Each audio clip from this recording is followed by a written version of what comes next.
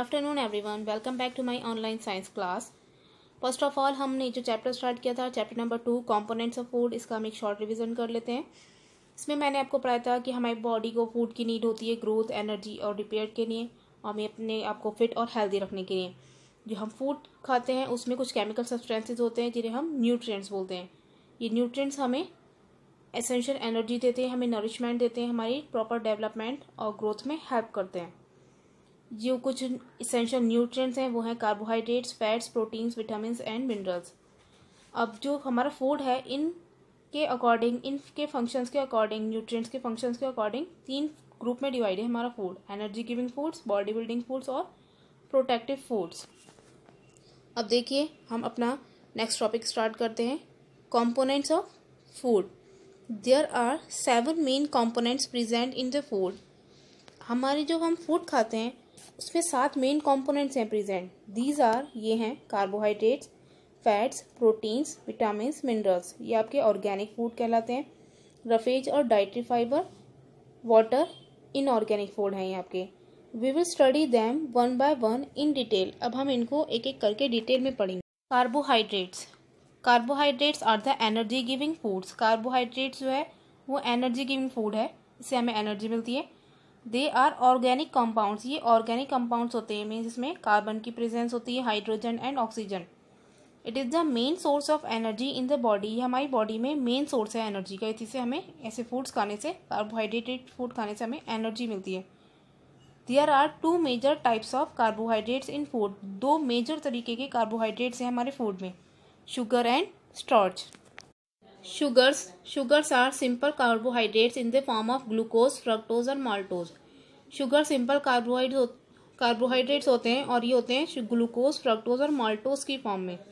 They are often sweet and provide instant energy अक्सर sweet होते हैं और हमें इंस्टेंट यानी फॉरन ही एनर्जी प्रोवाइड करते हैं. नेक्स्ट टाइप का आपका कार्बोहाइड्रेट है starch starch is a complex carbohydrate ये कॉम्प्लेक्स टाइप का कार्बोहाइड्रेट होता है. Starch does not taste sweet ये का स्वीट टेस्ट नहीं होता है। And is insoluble in water और वाटर में ये इनसॉल्यूबल होते हैं, घुलते नहीं हैं। In the body the energy from starch is released more slowly हमारी बॉडी में जो स्टॉर्च से एनर्जी होती है, वो बहुत धीरे धीरे रिलीज़ होती है, निकलती है और शुगर से हमें फॉरन मिल जाती है। सोर्सेज ऑफ़ कार्बोहाइड्रेट्स अब हमें कार्बोहाइड्रेट्स कहाँ कहाँ से मिलता है? Some common sources of carbohydrates are rice wheat potatoes sugars bread biscuits honey etcetera ये कुछ कॉमन सोर्सेज है कार्बोहाइड्रेट्स के। इनसे खाने से हमें कार्बोहाइड्रेट्स मिलते हैं। Fruits like bananas mangoes watermelons also contains carbohydrate in fruits जैसे कि बनाना मैंगो वाटरमेलन में भी कार्बोहाइड्रेट्स होता है। अब देखिए आपका है fats fats are also energy giving foods fats भी एनर्जी गिविंग फ़ूड होते हैं। हमें इनसे एनर्जी मिलती है। In fact the energy in fact the provide more energy than carbohydrates वास्तव में ये हमें कार्बोहाइड्रेट से ज़्यादा एनर्जी देते हैं। Fats are compose of carbon hydrogen and oxygen fats किससे बना होता है? कार्बन हाइड्रोजन और ऑक्सीजन से। Our body converts food into energy हमारी बॉडी फ़ूड को, जो हमने फ़ूड खाया, उसको एनर्जी में कन्वर्ट कर देती है and store parts of this energy as fats और इसका जो कुछ पार्ट है वो हमारे बॉडी में एनर्जी एक फैट की तरह स्टोर कर लेती है। The main function of fats are जो फैट्स है, उसका मेन फ़ंक्शन क्या है हमारी बॉडी में? Fats are an energy bank एक तरीके से ये एनर्जी बैंक है हमारी in living organism living organism में ये एनर्जी बैंक है। Fat provide protect the delicate organs of the body fat हमारी बॉडी के जो डेलिकेट कमज़ोर ऑर्गन्स हैं, उनको प्रोटेक्ट करती है, उनको ऊपर, जैसे फैट की लेयर आ जाती है तो उससे वो हमारे और बॉडी के ऑर्गन्स को प्रोटेक्ट करती है। The fat under the skin acts as an insulator cutting down heat loss in cold weather fat जो है एक इंसुलेटर का भी वर्क करता है। ये हमें गर्म हीट लॉस हमारी गर्मी बाहर बॉडी से गर्मी को बाहर नहीं निकलने देता है। ठंड के मौसम में जो मोटे लोग होते हैं, उनको ज़्यादा ठंड नहीं लगती है फिर इस वजह से, क्योंकि उनकी स्किन पर फैट कवर हो जाता है। It thus help to keep the body warm इस तरीके से ये हमारी बॉडी को गर्म रखने में हेल्प करता है। अब देखिए आपके दे रखे हैं सोर्सेज ऑफ़ फैट्स फैट्स के क्या सोर्सेज हैं? हमें कहाँ कहाँ से फैट्स मिलते हैं? Sources of fats are classified into two groups जो फैट के सोर्सेज हैं, वो दो ग्रुप में डिवाइड है. एनिमल फैट जो हमें एनिमल से मिलता है. इसमें आता है आपका बटर घी milk meat etcetera plant fats और ऑयल्स प्लांट फैट्स या ऑयल भी बोल सकते हैं. मस्टर्ड ऑयल सरसों का ग्राउंड नट मूंगफली का तेल नट्स बादाम, अखरोट वगैरह. ये सब हमारे सोर्सेज हैं फैट्स के. थर्ड कंपोनेंट है आपका फ़ूड का proteins proteins are known as body building food protein को हम बॉडी बिल्डिंग फ़ूड बोलते हैं. Proteins are made up of simple units that is amino acid proteins amino acid के बने होते हैं. Your muscles bones cells antibodies enzymes and some hormones are largely compose of proteins हमारी muscles bones enzymes hormones ये सब इसमें ज़्यादातर जो पार्ट होता है वो प्रोटीन्स का होता है. They help in the repairing of tissues ये हेल्प करते हैं हमारी टिश्यूज़ की रिपेयरिंग में। ब्लड क्लॉटिंग यानी खून जमने में, जैसे कि कभी चोट निकल आती है, लग जाती है हमारे, उसके बाद खून जम जाता है तो वो प्रोटीन की हेल्प से होता है। एंड फ्लूड बैलेंस हमारी बॉडी में जो लिक्विड है, उसका बैलेंस बनाए रखने में ये प्रोटीन्स हेल्प करते हैं। And extra bet our hair is also made up of a type of protein called keratin हमारे जो हेयर हैं, बाल, वो भी एक तरीके के प्रोटीन से बने हैं, जिसे हम बोलते हैं keratin. Sources of proteins proteins के क्या सोर्सेज हैं?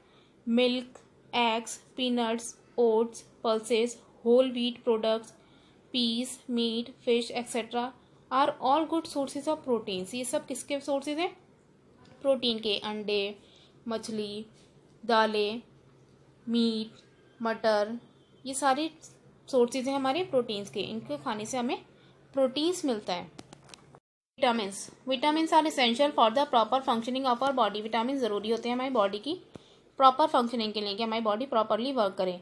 They help in keeping our eyes bones teeth and gums healthy हमारी आँखों को, हड्डियों को, दांतों को और गम्स मीन्स मसूड़ों को हेल्थी रखने में हेल्प करते हैं। They also help enzymes to their work to do their work ये एंजाइम्स को भी उनका वर्क करने में हेल्प करते हैं। They are necessary for proper utilisation of other nutrients like carbohydrates fats and proteins ये दूसरे जो न्यूट्रिएंट्स हैं हमारी बॉडी में कार्बोहाइड्रेट फैट्स उनकी प्रॉपर यूटिलाइजेशन के लिए भी नेसेसरी होते हैं। They are needed in very small quantity ये हमें बहुत ज़्यादा स्मॉल क्वान्टिटी में नीडेड होते हैं। There are thirteen vitamin each of which has a specific function तेरह तरीके के विटामिन होते हैं जिनका सबका अपना अलग फ़ंक्शन है।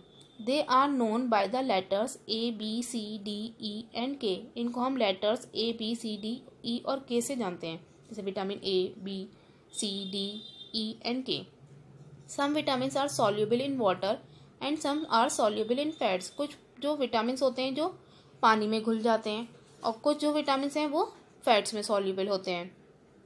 अब देखिए आपका दे रखा है सोर्सेज ऑफ़ विटामिन विटामिन के क्या सोर्सेज हमें विटामिन कहाँ से मिलते हैं? Meat, fish, butter, milk, fruits, vegetables cod liver oil etcetera are sources of vitamin ये सब विटामिन के सोर्सेज हैं।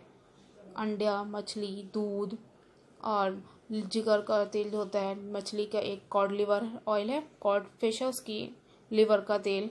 ये सब विटामिन के सोर्सेज हैं फ्रूट्स वेजिटेबल्स इन सबसे हमें विटामिन मिलते हैं। An extra bet vitamin A D and K are fat soluble therefore can be stored in the body vitamin A D E और के ये फैट में सॉल्यूबल हो जाते हैं। इसलिए इन्हें हम बॉडी में स्टोर कर सकते हैं, क्योंकि फैट हमारी बॉडी में स्टोर हो जाता है तो ये विटामिन भी स्टोर हो सकते हैं। Vitamin B complex vitamin B complex क्यों बोला गया क्योंकि विटामिन बी के भी पार्ट हैं B one B two B three B twelve तरीके से। एंड विटामिन सी और वाटर सॉल्यूबल और विटामिन सी में वाटर में सॉल्यूबल हैं। Therefore can not be stored for a long period of time in the body इसलिए इन्हें, हमारी बॉडी में काफ़ी टाइम के लिए स्टोर करके नहीं रखा जा सकता। Minerals minerals are inorganic salts that contain chemical element minerals inorganic salts होते हैं, जिनमें केमिकल एलिमेंट्स होते हैं। Just like vitamin minerals also help our body to stay healthy जैसे कि विटामिन हेल्प करते हैं हमारी बॉडी को हेल्दी रखने में, इस तरीके से। मिनरल्स भी हमारी बॉडी को हेल्दी रखने में हेल्प करते हैं। Each mineral has a specific function to perform in the body हमारी इन मिनरल्स का भी एक स्पेसिफिक फ़ंक्शन होता है, हर मिनरल का अपना अलग फ़ंक्शन होता है। They are also needed in small quantities ये भी हमें स्मॉल क्वान्टिटी में ज़रूरी होते हैं। Minerals are very important for the following reasons minerals हमें इन रीजन्स की वजह से बहुत ज़रूरी होते हैं। Some minerals are important for growth and repair of tissues of the body minerals ज़रूरी होते हैं हमारी ग्रोथ के लिए और टिश्यूज़ की रिपेयर के लिए।